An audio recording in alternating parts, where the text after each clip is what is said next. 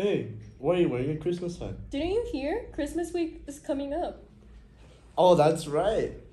Students, you can participate in fun Christmas activities and have free dress if you donate a toy. More information will be available soon. Get ready to show your Christmas spirit. Woo!